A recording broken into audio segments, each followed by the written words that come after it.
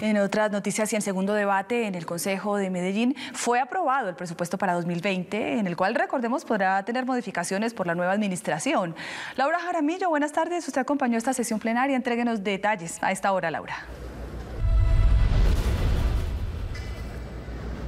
Compañeros y televidentes, muy buenas tardes para todos. Quedó definido el presupuesto que tendrá el municipio de Medellín para el año 2020.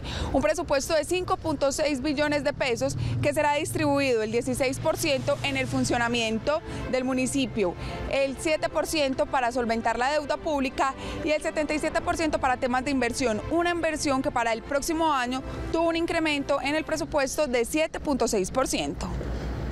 Lo que queremos dejar, eh, las grandes modificaciones se dieron a través de infraestructura, eh, donde incorporamos recursos, por ejemplo, para terminar el cable Picacho, para mantenimiento de algunas obras que nosotros mismos estamos eh, dejando y definitivamente hay movimientos en el presupuesto cercanos a los 200 mil millones de pesos, pero es una recomposición del presupuesto.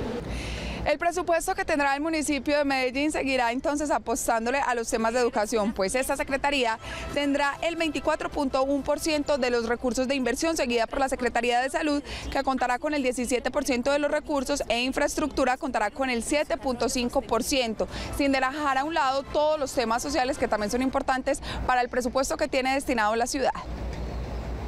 Garantizada la educación gratuita en Medellín en buen comienzo, preescolar, primaria, secundaria, más de 450 mil niños desde buen comienzo hasta el grado 11 estudiando de manera gratuita en una ciudad como Medellín.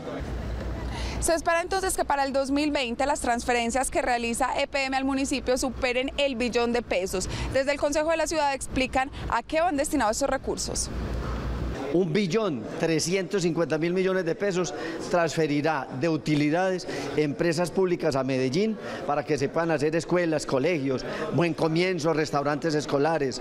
Tenemos que reconocer eso, de lo contrario eh, mantendremos una insatisfacción seremos insaciables sin reconocer que también se ha hecho mucho.